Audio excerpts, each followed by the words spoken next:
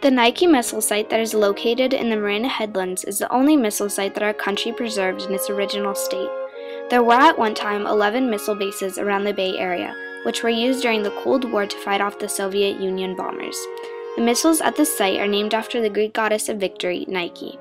For each Nike installation, there were two important locations the radar site and the launch pad. Now, this Nike missile site has been converted into more of a tourist attraction. There are guided tours given by war veterans, as well as an amazing trip down the missile elevator.